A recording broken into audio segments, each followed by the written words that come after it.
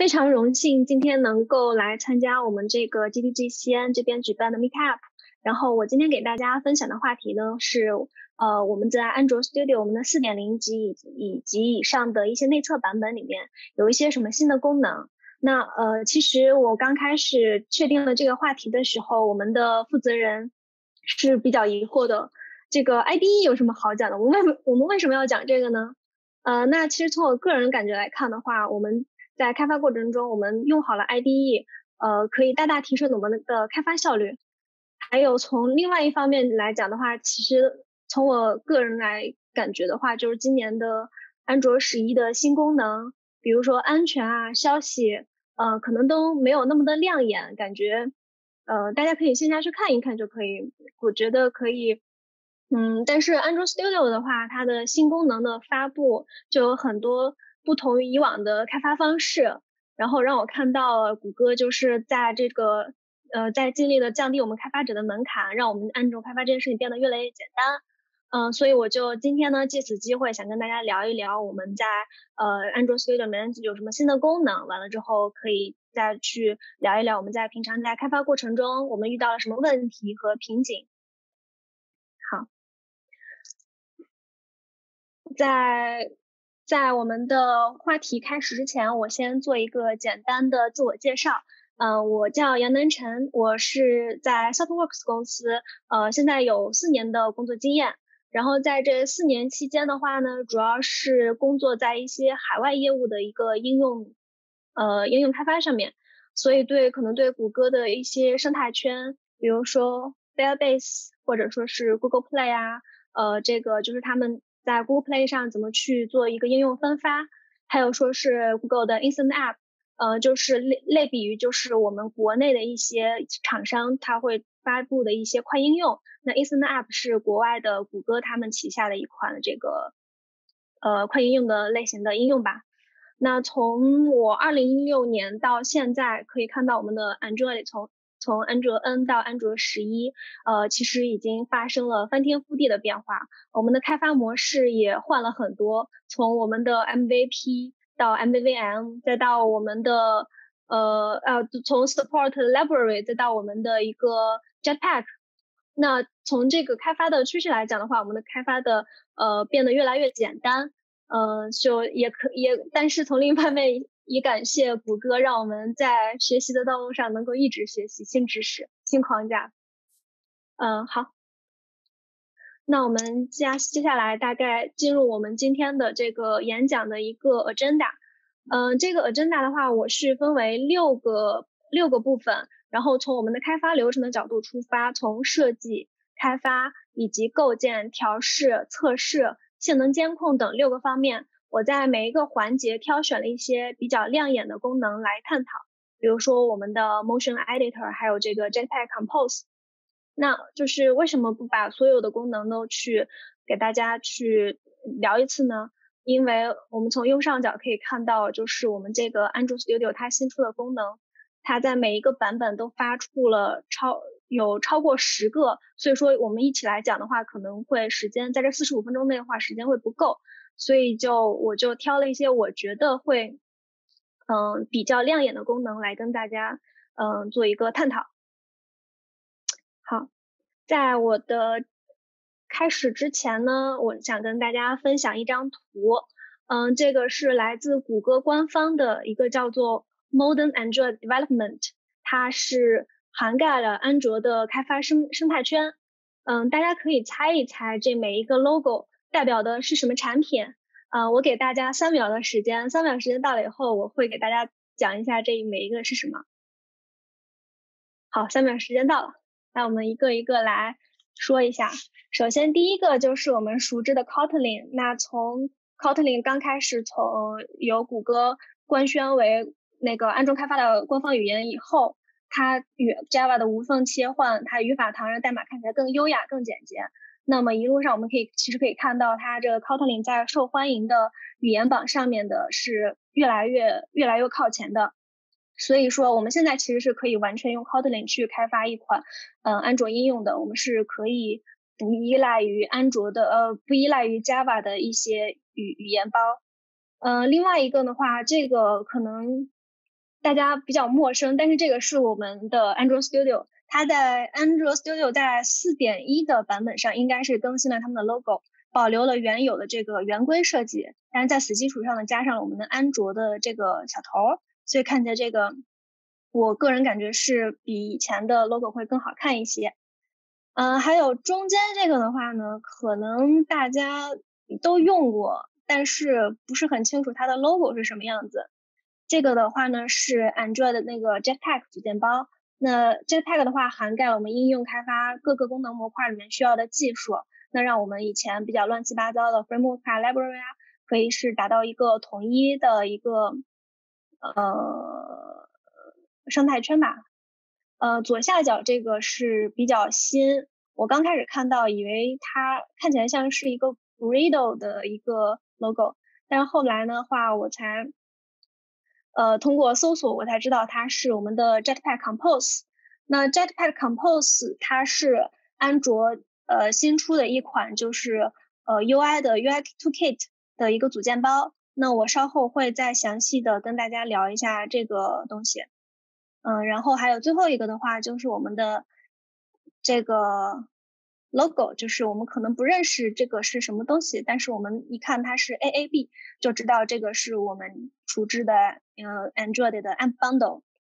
那如果说现在还有，嗯，可能比较少吧，可如果说还是在使用 A P K 包去呃做应用分发的话，还是建议尽早的去迁移到我们的 App Bundle。呃，为什么呢？因为其实按 bundle 的话，是可以极大的减少我们的应用用户需要下载一个包的一个大小。那比如说以前是把所有的资源，把不同国家的语言以及它的不同分辨率的资源全部整合起来，放到一个 APK 包里面，这样子用户下载下来的话，包会比较大。那我们用 app bundle 的话，如果说用户去请求一个资源，呃，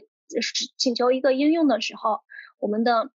应用商店会根据用户所在的地区、用户手机的分辨率的大小，然后给他去重新组装出来一个适用于用户的设备的一个 APK 包。所以说是它是极大的减少了一些重复性的一些资源的打包。呃，那举例来说的话呢，像我们我目像之前那个项目的话，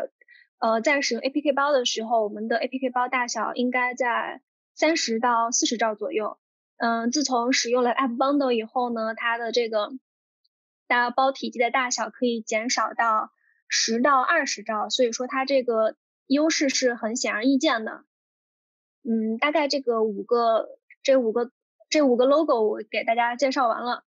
嗯，我的理解来看的话，我们其实是可以只使用这个这个呃这五个工具就可以呃制造出一个完美的高质量的安卓应用。那我们继续进行我们今天的第一个话题，就是我们的 Motion Editor。我把它放到了我们的设计这个环节，那就是有一般的话，U UX 我们的设计师会给到我们一些比较 fancy 的动画，让我们用代码去实现它。那其实安卓的动画来说的话，种类是比较繁多，它使用起来也是比较复杂。但我们需需要使用一些自定义的动画来实现一些复杂的动画效果效果时，那我们可能都要考虑，比如说使用什么 mo 呃 value value property animator 去把我们的一些组合在一起的 animator 去做一个呃呃结合去结合起来去播放。然后除此之外呢，我们还要考虑到它这个 animation 的生命周期的管理，还有它的内存泄露等方面都需要去进行考虑。那 motion editor 是什么呢？那其实，在二零一八年 Google I/O 的时候，谷歌就宣布了，在那个 Constraint Layout 二点零的时候，就宣布了一个叫做 Motion Layout 的一个呃一个组件吧。它是一个 Constraint Layout 的子类，但是呢，它是可以帮助我们去实现一些比较复杂的动画在 XML 里面。那当但是因为当时是还处在开发阶段，所以大家对这个的关注度不是很高。但是经历了比较长的时间的等待的话，我们在安卓的 Studio 4.0上，我们就可以成功的用到这个功能。我们现在是可以用 Motion Editor 去做一个呃比较复杂的动画。呃，右边是我们这个一个 Motion 呃 Motion Editor 它的一个 Storyboard。我们可左边可以看到这个动画，它是细节是从。呃，这个 logo 是从左上角跳到右下角。那我们怎么去做这样一个动画呢？它这个就非常的简单。我们这个动画包含了两个两个状态，两个状态分别是代表的包含的是一个 constraint set。从字面意思了解说，就是说我们在这个开始状态，它会把所有的 view 它的 constant 它的约束，呃，做打包成一个集合，然后我们可以在呃这个这个 layout 起始状态定义一个所有 view 相关的一些。呃，约束集合，然后我们在它这个结束的状态再去设定另外一个呃约束的集合。这个约束集合的话，我们一般可以去定义我们的 rotation，还有 scale，还有它 translation alpha，visibility，它所有的是可以去进行一个自定义。呃，我们等打把这个开始和结束状态的所有的呃状态设置好以后，我们这个动画就很简单的就可以去运行了。另外一方面的话呢，如果说我们想加一些中间的状态，比如说我们在这个 logo 在，不好意思，把这个暂停一下。我们在这个 logo 在动画的中间状态，我们想把它变大，然后在结束的时候把它变小，我们也是有一个叫做 keyframe set 的呃设置是可以的。我们是通过点击这边这个一个按钮，我们可以去给它自定义一个属性。假如说我们的动画它的是它的它的呃总时间是零到一百，那它我们可以在它 position 呃位置在五十的时候，将它的一些呃比如说它的长宽比变成二倍，这样子的话，它的最终出来的效果就是从大再变小，从左上角到右下角。所以说这个 motion editor 我我在线下去使用了一下。用起来还是非常的简单，比我自己用代码写动画方便多了。那它这个 Motion Editor，它最终呃做完动画以后，它最终产生的产出的是一个什么东西呢？嗯，它是一个会生成一个根节点为 Motion 的一个 XML 文件，它会存储存储在我们的 XML 那个文件包下面。嗯，我们可以。呃，清楚清楚的看到它这个 XML 文件里面的结构。我稍微吐槽一下，就是之前我在做 iOS 一些 Storyboard 上面的一些 UI 的改动的时候，呃，当我把我的 UI 写好以后，我去看它生成的 XML 文件是比较难以阅读的。从这一方面来讲的话，我觉得 Android Studio 从在这方面是做的比较好的一点，就是我们在这个 XML 里面是可阅读性是非常高的，我们可以看的清晰的看到我们这个 Constraint Set 里面，我们 Start 状态里面有什么约束，我们 In 的状态里面有什么约束，我们又设置的什么样的一些 Attribute，比如说这个放大的二点零，我们就可以清清晰的看到它是在我们这个动画在五十的时候，它的总它的 Position 的总总长度是一百。我们在它五十的时候设置了它的 scale 为 x，呃是二，所以我们的通过 motion editor 的话，是我可以帮助我们去开发一个复合有中间状态的，还可以做一个用户交互的动画。哦，这点我是刚刚忘记提了。我们怎么去加用户交互呢？我们在这个地方是可以去添加一些用户交互的行为。我们在这个地方有两种两种。两种方式，一个是用户点击和用户滑动。我们在这个 animation 这个对象给它加一个 handler，去表示如果说用户点击了某一个 view，比如说我把它这个 handler 它这个 ID 设定成这个 logo，那我点击了以后，它就可以进行一个呃动画的嗯播放。那我们的 Motion Editor 就大概讲到这里，大家感兴趣的话，线下可以去自己去，嗯，练习练习。然后我们进入到我们下一个，呃，话题是我们在开发开发过程中，可能也许未来可以引用到的一个 Jetpack Compose Tooling。那这个东西是什么呢？呃。相信就是如果说去年的 W W W D C，如果大家有关注的话，苹果发布了叫 Swift UI，那它呢是一种声明式的 UI 框架，它可以帮助我们开发者用简单的 Swift 代码就可以写出更强大的 UI 界面。那我们的技术嘛，总是相互借鉴的。那 Jetpack Compose 的话，它也是一种声明式的 UI 框架，它是简化而且加速了我们安卓上面的 UI 开发。我们可以用用更少的代码，我们用一种，我们是因为我们是用 Kotlin 去写 UI，所以说很多的一些 Lambda，呃，还有它的一些回调函数是非常的简单，用 Kotlin 去写的话是很优雅。那它 Jetpack Compose 它在呃开发的过程中也是借鉴了我们的。一些其他前端的框架，比如说 React、Vue，还还有一个，还有我们的 Flutter。那其实我们在后面，我们如果说是呃在尝试要去用 Jetpack Compose 去写一些 UI 的话，我们其实会发现我们的这个语法跟 Flutter 是很像。说到这里，其实我刚开始在写 Flutter 的时候，当我在写写 UI 的时候，我就会觉得很舒服，我就可以用一点点的代码写出来。特别复杂的界面，我就感觉如果说，但是我当时因为我对 Dart 不是很熟，所以我想如果我能用 Kotlin 来写 UI 就更好了。那不负众望的，我 Jetpack Compose 出来以后，我还是比较开心的。那我们这个 Jetpack Compose 它是怎么去做呢？嗯，它里面就是比较简单。我们看到我们这个声明这个 text sample，它是一个 console cons。Composable，所以说它就是一个可以理解为是一个自定义组件。我们在里面，呃，代码块里面去声明它是 card，card 里面有一有一个 row，row 里面有一个图片，还有一个 spacer，就这个 spacer，还加一个 container，container 里面有一个 text，这样子我们一个，嗯，一个小的 composable，com com compose 它就可以去画出来。然后我们安在安卓 Studio 里面去开发一个 Composable 的时候，我们是有一些其他方面的一个优点。首先，我们是可以在我们的 IDE 里面去直接去，呃，直观的去看到我们的 Composable 最终出长出来是什么样子。那就就用我们的 Preview 一个 Annotation，这个 Preview 它可以支持我们定义不同的 API，还可以定义我们不同的宽高和我们的。地点呃和我们这个不同的地理位置，还有我们的呃这个就是说不同的国家，还有它的字体的大小等等一系列，还有我们的 UI mode 就是安卓 Q 出来的一个 Dark mode，还有另外一方面的话，我们也是支持我们在我们的 Composable 里面去写一些很容易阅读的一些代码，呃，另外一点的话，IDE 的话也支持我们一些呃比较。比较方便的一些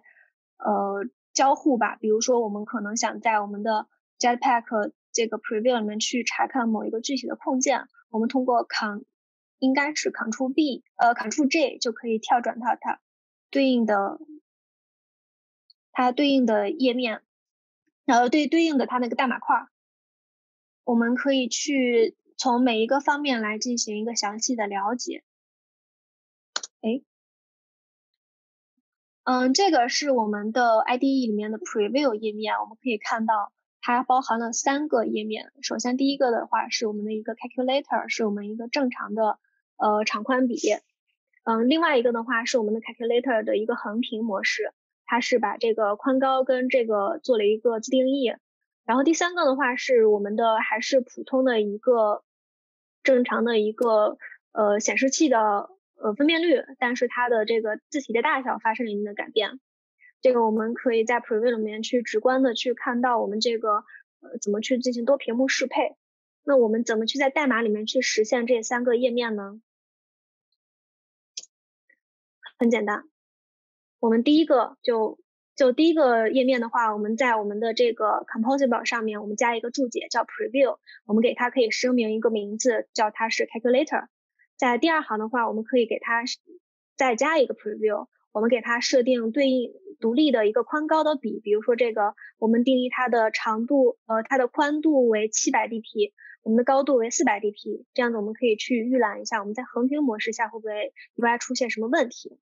那么第三个的话就是我们的一个 large fonts，它它的它是将我们的这个字体的大小做了一个自定义，把它字体变成了二倍，这样子。我们可以看到，我们这个 UI 是还是正常 work 的。那我们平常是有为什么为什么需要用到这个去调试我们这个 font scale 呢？因为我们其实如果家里有 有老人的话，可能会比较熟悉，就是他们他们可能会眼睛可能会有一点远视，一般的话会把手机上面的字体会调的比较大，所以我们在这方面还是需要多去关注一下。这个是我们的 Preview 功能。那么我们再去看一下我们的森跑功能。森跑这边就是，呃，从我们这个代码块截到一半，我们这边是有一个 Shopping Cart Item，它是一个 Composable。我们通过 Ctrl J 点击进去，可以看到它的具体的一些文档。在文档里面的话，它第一部分的话是我们这个 Composable 它的一个函数声明，它里面都有什么参数。在在后面的话，就是我们这个函数它的职责是什么，它可以做什么，甚至于在这里面，它也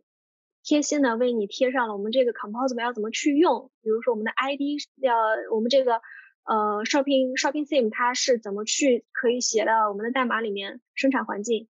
呃，还有呢，我们也可以在这里去看到我们在预览模式里面看到我们这个 UI 长什么样子，我这个地方嗯没有截出来。但是如果说大家之前阅读过一些 X Java 相关的文档的话，是可以看到它那个数据流图其实跟这个是，呃，这个文档模式是比较类似的。那我们怎么去，我们开发者是怎么去能写出来这样子的一个文档呢？我们可以看到这边是我们的一个 Composable，它的它的职责，像我们左边这个，它去解释我们这个 Shopping Cart Item，它是。呃，它的内容是什么？我们可以像我们的 Java 里面的注释一样，直接在第一行去加上一些文字描述。那我们怎么去给它再加上这样子的一个 sample 呢？我们在这边通过注解的方式去引入一个 sample preview，sample preview 通过这个包名呃类名去直接引用到它的这里，这个就是这个最终出来就会被呃放到我们的文档里面去，让其他的一些。呃，开发者一起去通过阅读去使用，然后它这边我们想要要是想在我们的文档里面去阅览它的话，我们是可以在这里面也加上一个 preview，这样子的话，我们也可以在我们的开发过程中直接看到我们这个 composable 是长什么样子。总体来说，这个 composable 就，哎，就是还是功能还是比较强大，在 IDE 的支持下面。然后最后一个，这个是重磅级的一个功能，就是说我们可以在不在 App 应用呃在编译好运行在我们的真机或者模拟器的情况下，我们就可以在这个 Preview 里面去进行一个交互。这个我们就可以直接通过，当我们的这个呃 Composable 代码写好以后，我们在 Preview 里面通过点击这个按钮，然后我们就可以看到我们这个。是可以直接在这个 UI 上面去进行一个交互，比如说我们在这验证三乘以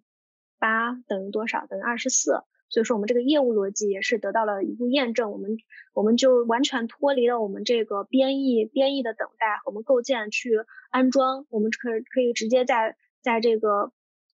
呃 comp compile 呃 runtime compiler 的支持下，我们直接去做一个呃提前的一个 UI 的验证。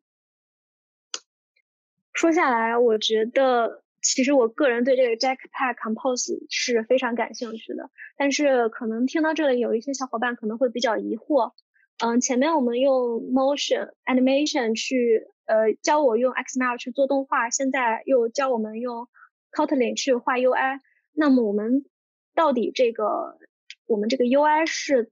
要怎么去怎么去用，什么时候去用呢？那这个这个 Java Compose 出来，它为什么它为什么会发布这样子的一个产品呢？那从我的理解来看啊，就是呃，这个是只是一个个人的一个理解。呃，如果说大家有什么不同意的点，可以在呃那个弹幕里面也可以去进行一个探讨。就是我个人感觉，就是我们现在我们目前我们的安卓的这个一个 View，它这个生态是比较复杂的，比较混乱的。它我们这个现在我们整个的我们的一个 view，它是我们整个 UI 构建的一个最基础的类，它现在已经有了三万多行的代码，同时它所有的相关的一些 view 都是继承自它，比如说我们的 widget 继承我们的 view，我们的 layout 继承我们的 view group，然后我们的 view group 又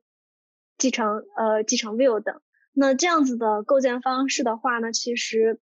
我们在开发上呢也会有一定的不便捷，我们的性能也有一定的损耗。那其实我们平常在做一个自定义 view 的时候，那我们在 onDraw onLayout 这样子一个比较复杂的生命 view 的生命周期下，我们去画一个自定义的 view 也是需要呃门槛也是稍微有一点高。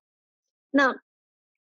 呃那我们去如果期望我们的谷歌方面能够把这个 view 这一整个模块去做一个大型的重构，去让我们脱离这种继承的方式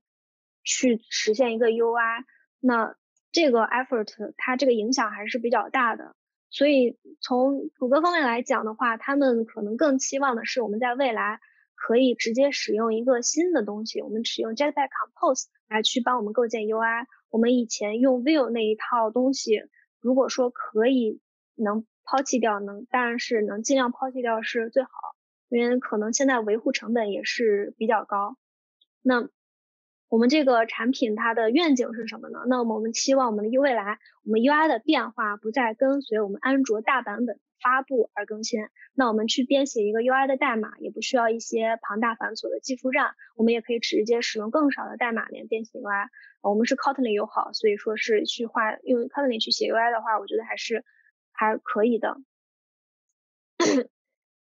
嗯，这方面我觉得讲的差不多了。哦，对，还有一点的话是我们现在这个 composable 是这么去定义，那我们怎么去用它？我我如果说是我目前我们的项目大部分还是是 XML 文件去做一个 UI 声明，那我们怎么去引入一些这样新的技术呢？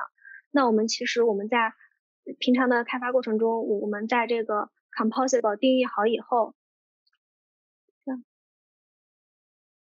我们在这个 composable 定义好以后，它是可以作为一个 custom view 去引入到我们 XM XML 文件里面。我们可以去直接像我们之前自定义 view 一样，我们直接去引入它一个 text text symbol 这样子的一个方式去做引入。所以说我们在以后如果说 Jetpack Compose 能正式发布的话，我们也是可以慢慢的将这个新的工具引入到我们的呃安卓的像项目代码里面，嗯。嗯，这个地方我们的这个 Jetpack Compose 也讲完了，那我们再来讲一下我们这个构建、构建、构建过程吧。然后，不知道大家在平时的开发过程中有没有遇到这样的一个问题，就我们安卓 Studio 构建项目的速度，嗯，是一个比较大的痛点。嗯，我们经常会出现一些写代码写一分钟，编译编译一小时的情况，特别的影响开发的效率。呃，就比如说我们的项目在目前每天早上上班第一件事就是打开电脑先编译，编译好了把那个离线模式打开，再去进行后续工作。这个这个 build 建工作，呃呃，build 建构建时间比较长，这个原因也是比较多啊，因为我们这个安卓 Studio 它的第三方插件也有很多，它有可能会出现一些运行缓慢的问题。那我们也会经常会自己去定义一些 task，去帮我们去在呃，去写一些比较 common 的一些呃 task，完了之后，我们可以在不同的团队之间去共享。呃，那还有一方面的话，是我们会经常使用一些注解解释器，去在编译期去生成一些代码。那么就比如说我们熟悉的 Dagger 二，那那 Dagger 二是牺牲了这个构建时间，我们 Dagger 一的话是在运行时间通过反射来获取我们的。依赖，那我们我们在 Dagger 二的时候，我们将这个时间从运行时挪到了构建时，我们节约了我们的用户的时间成本，但是我们在构建的时候就会比较浪费时间。那所以从多个方面角多个角度来讲的话，提高我们的构建速度是一个比较困难的事情。首先，这个多方面的话，我们首先我们的安卓 Studio 团队需要保证自己原有的 Gradle Plugin 的效率。其次的话，我们的开发团队也是需要去评估自己的构建过程中可能会影响到呃速度的因素，呃速度的一些因素。哦，对，在刚刚说到这个 Dagger 二的时候，我顺便提一下啊，就是我们在这个安卓 Studio 的四点一里面，我们可以直接支持到我们这个 Dagger 二我们写出来的一些依赖的一个一个导航，我们 IDE 可以直接去去做一个跳转，去查找我们的依赖。那说回到我们这个构建，我们就嗯出来了这个 Build Analyzer 这个这个产品，这个产品它能做什么呢？它可以帮我帮助我们去深层的去分析我们在一个安卓安卓应用它在构建的过程中，它每一个 task 它去运行所花费的时间，以及它可能会遇到的一些瓶颈。它呃，它也会去 highlight 出我们每一个 task 它可能会影响到我们 build 时间的场景。呃，像我们这个左边的这个。这个图一样，我们加每一个 task，它就会明确的说出来，你这个 task 耗费了多长的时间，它是属于哪一个，它是属于个哪一个 project 的，它是哪一个 plugin，它也会详细的说清楚你这个 task 它可能会有一些什么潜在的风险。嗯，那有了这个 build analyzer 这个东西的话呢，我们去去分析我们这个构建过程中的一些细节的话，会比较清楚。呃，跟我们的项目产品经理聊的话也比较方便。比如说，我们的产品经理可能想要我们去快速的上修复一个 bug，那我们这个 bug 可能只需要一行的代码的改动，但是我们花了一个小时，我们的产品经理就会比较疑惑，为什么一行代码你需要做一个小时？那么我们直接我把我们的这个 build 它呃这个构建的报告，我们给他去看一看，我们知道我们这个 Android Studio 它这个。构建的速度是非常影响我们的开发效率，那么这个产品经理就会觉得这个是一个蛮重要的事情，他会把这个优化我们的构建速度作为一个比较高优先级的事情，让我们可以去花费一定的时间去提高我们的这个构建性能。这样子的话呢，我们在后期的话也会去，呃，通过一次性的优化，我们可以在后面的开发过程中减少对构建速度的一个呃影响吧。好了，那我们这个 build analyzer 也可以大概说这么多。嗯，再来到我们这个 debug 环节，有一些新的功能。这个 database inspector 它是一个我一直以来比较想要的一个 feature，所以我把它也单独提出来，今天做了一个介绍。那没有这个 database impact inspector 之前的话呢？我们去查看我们的应用正在运行时的它的一个数据库是一个比较麻烦的事情。呃，我们可以通过一些呃第三方库，比如说我们的 Spatio，我们可以通过代码植入，我们在我们的 Chrome 里面去访问我们的数据库。但是的话呢，这个会有一定的问题，就是我们可能需要在严格的控制它的这个引入的它的环境，我们只能在我们的 debug 环境里面去引入这个 APK 包，呃，去引入这个第三方依赖，而不能在其他的环境，否则会影响到我们的最终用户的 APK 包的大小。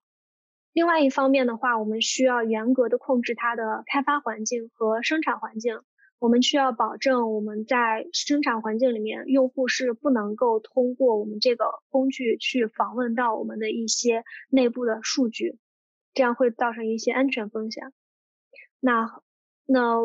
从另外一方面的话，我们也可以使用一些呃 Android Studio 的一些查看数据库的一些插件，呃，也可以去呃，但是这个去下载一些这些插件的话，也是有一定的不安全因素存在吧。然后还有一些比较手手动的方式，就是说我们在我们的模拟器里面可以去手动的去把我们的这个数据库文件去下载下来，然后我们去用一些我们本地的一些数据库浏览器去看查看它里面的内容。那这种下载的方式呢，它会有一些问题，那就是我们的实时性，我们没有办法去实时观察到我们这个呃数据库里面的数据的更改。所以说这个 database inspector 它一定程度上解。解决了我们在应用开发过程中我们数据库黑盒的一个，嗯，数据库黑盒的一个影响。那我们这个 database inspector 它有什么功能？它就包含了增删改查这四个方面。我们是可以在这个在 app 运行过程中，我们通过点击 refresh table 去把这个它的数据库里面的内容去更新。我们也可以像 layout inspector 一样，我们去打开它的 live updates。我们在 UI 层面去做一些数据的更新，我们这边可以实时的观察到我们数据库的一些更改。嗯，其次的话呢，我们也是可以手动在我们的 database 里面去加一些数据，它会把我们的加添加的数据，我们去验证我们的 app 里面是不是正常的显示了我们新添添加的一些数据。还有的话呢，我们也是可以直接去运行我们的这个 SQL 语句。比如说我们直接把我们整个数据库里面数据都删掉，那也是可以在这边跑一行命令，可是可以做到的事情。嗯，这个这个都这个工具比较简单，我就大概给大家讲一下就可以。还有另外一个另外一个 feature 的话，是一个无限无限调试的功能。不知道大家有没有注意到，我这个在每一页的 PPT 的它这个题目，它的颜色其实是不太一样的。那有白色，有绿色，还有这种橘色。嗯，这个区别的话，主要是我们白色的话是代表的是我们在 Android Studio 它正式版本是上线了这个功能。那绿色的话，就是说我们在 Android Studio 4.1，我们在 Beta 版上才可以去使用到这个功能。那橘色的话呢，就是说我们在我们的 Android Studio 的金丝雀版本才可以去访问到呃使用到这些嗯新的一些功能吧，也可能是不是很稳定。然后无线。无线调试就像我们说的一样，我们可以去通过五呃这个二维码去将我们的设备跟我们的 IDE 去连接起来，去做一个无线的呃那个数据传输。那以前其实我们也是可以做到的，我们可以用 ADB 去做，通过那个 TCP/IP 协议去做一个无线的传输。但是它那个的话，所有的事情都是需要通过命令行去做，呃可能会不是很方便。那我们现在在 Android Studio 的4.2版本上面，我们加入了这个功能以后，我们可以在遇到一些比较极端的情况下，可能说是我们的电脑的那个插口不太够用，或者说是比如说我们新的新的 Mac 它它的接口都是 Type C 的，我们可能没有一些像匹配的一些线可以去用到，那可能它可以作为一个辅助功能，帮助我们去在没有 USB 调试的。情况下去做一个无线调试，但是呢，这个功能它第一点它只能在安卓 Studio 四点二上去使用，第二点的话它只能在安卓十一上去做一个无线的连接，所以目前的话我们还是不用，应该是很少能用到。呃，另外一点的话，它无线传输肯定是要比 USB 传输要慢很多，所以说是。当然，最好的情况下，我们还是更建议我们的开发者去使用一个 USB 去做一个呃调试。好，这一方面就说到这里。下来我们再去聊一下，我们在做一个自动化测试，我们的 Android Studio 给我们做了一些什么样子的更新。这个我们做仪器化测试的话，我们之前的话就用的比较多的可能会是一些第三方的云测试平台。我们将它，呃，例如我的话，我可能会用过一些那个 Firebase 的 Test Lab，它的话呢是可以在我们通过我们的 Android Studio 去集成，我们可以去在本地连接我们 Firebase 它这个，呃，它这个 Test Lab 去他们那个谷歌的某一个机房里面的那些设备，我们想要哪个设备，让它去在我们呃他们的设备上面去跑我们的这些仪器化测试，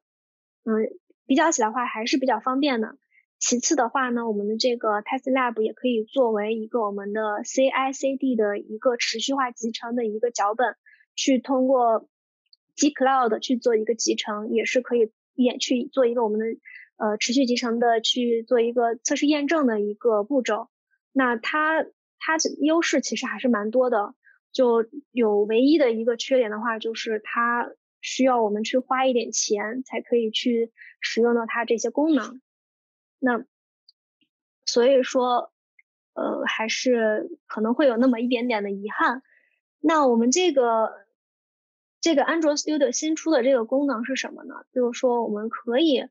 不使用我们的 Firebase 去做一个多仪器测试的一个过程，我们可以直接在我们的本地，我们去通过一个多选择的方式，去在我们这个不同的设备上去跑，去运行我们的仪器化测试。那以前的话，我们是可以在一个设备上去进行仪器化测试，但是呢，这个是效率会比较低，我们需要每一个都进行一个验证。但是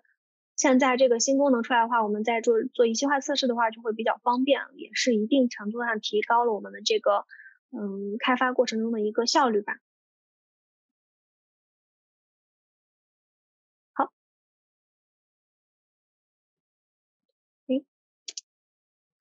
嗯，大概我感觉我稍微讲的有一点快。我们现在这个设计、开发、设计、开发、调试、构建都测试都讲完了。现在我们到了我们的最后一个模块，就是说我们的这个性能监测。这个性能监测这个模块的话，我们可能用的平常比较少，除非遇到一些性能瓶颈，我们可能在查询到我们的这个应用在运行的过程中，它可能这个 UI 没有那么的顺滑，可能会有一些卡顿。那我们可能会在这个时候，我们用到一些 profile 去查，去做一个调研，看看我们这个 UI 上面是有什么样子的一些缺点。那我们这个 profile 的话，总共分为四个部分，有 CPU 的，有内存的，有网络的和那个电量的。呃，今天的话呢，我主要摘出来这个 CPU 和内存这两方面给大家做一个简单的介绍。呃，其他的话，因为这两个用的比较多，其他的我考虑到可能时间的关系，所以就不进行详细的说明。嗯，这个是我们的一个 CPU profile，它一个。它是这个一个截图，我们可以看到这里面有我们的一些 CPU 的 CPU 的一些使用率和我们的这个呃它底下每一个线程它目前正在实行执行的函数，嗯嗯，不好意思，那我们看到这边我们这个 vsync 它每一次波动代表的是我们这个 CPU 准备更新 UI，那我们在这个情况下我们可以看到我们这个 frame 这边标了红。这标的红的意思就是说，我们在这个地方，我们的 UI 出现了卡顿，我们红色表代表着我们这个出现了掉帧情况。那我们在这个情况，我们在这个长时间段下，我们可以去进行一个深度的调研，看我们这个时候调用的函数，它的调用站有没有哪一些函数比较耗时或者出现了什么问题。嗯，在在这个方面，我需要去说明一下，当我们去调研一些我们 CPU。性能的监测的时候，我们尽量是在真机上去做一个测试，我们不要在我们的模拟器上，因为模拟器上掉帧会比较严重，我们就没有办法正确的去定位到我们的问题。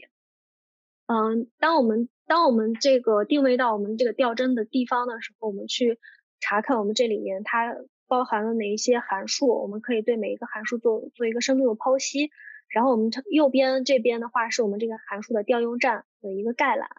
然后它这个调用站有四种四种呃模式，一个是它普通的调用站的图，一个是它普通的这个 call chart，就是说我们按照时间顺序，我们把每一步它的调用站去给它去呃画出来。另外一个的话，还有我们这个是我们的一个火焰图，这个火焰图的话，它呃它的解释比较比较比较比较麻烦，我可以直接说一下比较浅显易懂的，就是说。我们这个呃火焰图的话，我们一般只看最上面，它最上面每一个函数它的运行时的总呃总长度，代表我们这个函数运行的总长度时间，嗯，这个是我们的火焰图。然后我们这个 top down 这个这个的话，代表的是我们每一个函数它的调用站，比如说我们的 A 这边去调用了 B，B 调用了 C，我们 A 再去调用了 D，又 D 又去调用了 C，代表了我们这样子的一个。调用的一个数结构，那 D 的话呢，这个 bottom bottom up tree 的话，它是其实是把我们这个 top down tree 反过来，我们每一个函数我们被谁调了，我们这个被谁调的函数又被谁调了，它这样子一个反过来去做一个去做一个呃数据的一个显示。那其实说是我们平常我们要去用哪一个图去查看我们具体的问题的话。我们可能通过每一每一个感觉都有有用的信息，但是我们在什么确切的场景下需要用哪个的话，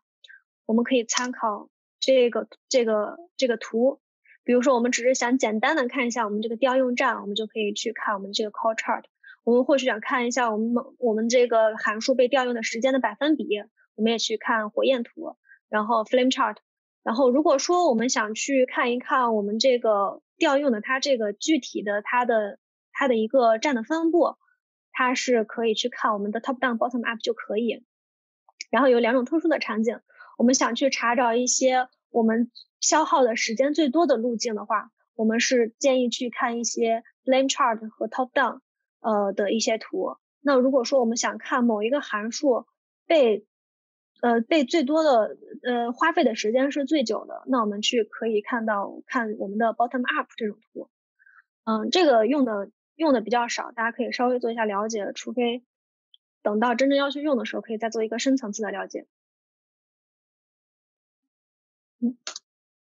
然后我再去跟嗯大概说一下我们这个内存的性能监测是怎么去做。那这个性呃右边的话是我们这个性能监测的一个图，呃我们可以看到这边它是功能是比较多。首先第一点的话，我们这个小按钮它代表的是我们去我们的 GVM 进行了一次内存回收，去进行一次 GC。那呃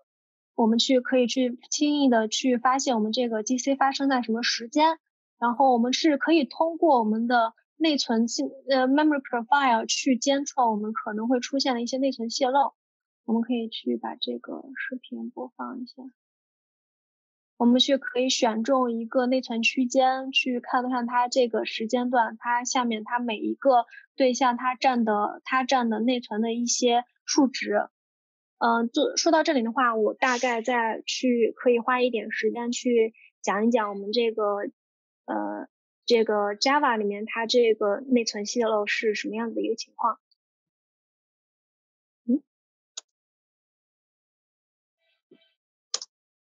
为啥停不动？啊，就是我们的 Java 它的内存内内存泄漏，它和和那个。普通的 C 跟 C 加加的内存泄漏，它定义还是不是很一样。像我们 C 跟 C 加加的它的内存泄漏的定义的话，就是说我们对象不被引用，但是它还在内存空间，没有人去主动的去回收它，那它就是一个呃内存泄漏。但是在 Java 里面这种场景是不会存在的。一旦说我们这个对象不被使用，就比如说这边我们这个对象没有任何的方法让从我们 GC root 可以去访问到它，那它就会被我们的系统去回收。那我们什么时候是一个内存泄漏呢？就是说我们一个对象不被使用了，但是它仍然被引用了。那这种情况下，它这个属于一个内存泄漏。哎，嗯，刚刚我们在这个地方，我们可以看到，其实我们在刚刚那个视频的最后，我们底下出现了一个表格图，去去帮我们去分析我们每一个对象所占的它的一个呃内存的大小。我们可以针对这。这个表格来去做一个解释，我们可以看到啊，就是这个呃 a p 呃 a a app heap 的话，它这边是包含了三个三个地方，它的三个呃 size，一个是 native size，一个是 shallow size，一个是 retained size。那这三个 size 代表的都是什么含义呢？首先，我们这个 native size 的话，就代表这个我们这个对象。它去持有了多少？它引用的这个 native 的它的这个内存占了多大的空间？那就是说，我们像我们的 bitmap，它在安卓八点零以后，它把它的像素数据存储到了我们 native，所以说这种情况是会存在的。我们可以看，其实可以看到我们这个 native size，我们在 bitmap 这一层是有很多的一些内存占比，但是我们在底下一些其他类型的数据对象里面其实是零。然后我们这个还有一个是呃，是我们的 shallow size。shallow size 代表的是我们这个这个对象我们自己所占的一个内存的大小，也就这个地方。然后我们的 return size 是什么呢？就是说它作为一个根节点，它可以访问到所有在 Java Java Java Java 里面去可以呃它去占到的一个它的内存的大小，就是它这样这个所有能够访问到的它这个引用，它把这个所有的呃这个内存大小做一个 size 放到了这里，让我们去做一个查询。那我们去怎么去监测一个内存泄漏呢？嗯，我们其实平常在安卓开发过程中，我们会特别的去避免一些 fragment 和 activity 的一些内存泄漏。那因为为什么呢？因为它们其实是占量了占用了我们的一个大量的内存。那我们怎么去检测一个内存泄漏呢？像比如说，我如果是一个 activity 的话，那它就是说我们在比如说。这个从这个例子来说的话，我们这个是一个呃 image activity，我们去点击某一个图片的话，它会打开另外一个 activity 去让我们去阅览这个 activity。当我们关呃去阅览这个图片，当我们关掉那个窗口，我们回到这个页面，理论上那个 activity 应该被销毁。如果说在那个场景下，我们的 activity 也我们预想到它已经被销毁，但是它仍然在这里存在，那就说明它出现了内存泄漏。那我们如果如何去判断我们的 fragment 有没有去出现内存泄漏呢？那就是说它的 fragment manager 它还在，呃，已经没有了，但是我们的 fragment 它还在我们的内存里面。所以说，就是在从这些方面，我们可以去判断我们是否发生一些内存泄漏。那从这个例子来说的话呢，就是这个 image data activity，它它在我们去进行这个这个截图的话，是我在关掉 image activity data activity 以后，它这个进行了一个 memory link 的分析。我们可以看到它这个 activity 还在，它的 depth 是一，depth 就是说我们在这个地方，比如说这个是我们 activity，那它这个这这个的 depth 就是就是一。所以说，其实我们从这方面来说的话，我们这个 depth 越小，深度越小的，它这个节点是越不容易被回收的，因为它，嗯，因为它离我们的呃这个 G C root 的地的距离是越近的。所以说，我们只可去看这个 activity 为什么没有被回收的话，我们可以去点开看它的子节点到底是什么，完了之后去做一个深度的一个剖析。嗯，我觉得我好像讲的差不多了，好，现在已经两点半了。这个是我们今天的一个回顾吧，就是我们今天都讲了什么东西。我们在这个 Android Studio 四点零以上，我们都包含了我们设计的 Motion Editor、Develop 的 Jetpack，还有 Build Build Analyzer，还有这些其他的一些方面的一些细节。好了，我今天的话题分享就结束了。嗯，感谢大家，有没有什么问题？啊，好，感谢。这里边有一些问题，我来一个一个给你去讲一下。嗯，可能第一个问题是，就是请问大概在什么时候能达到目前 Flutter 和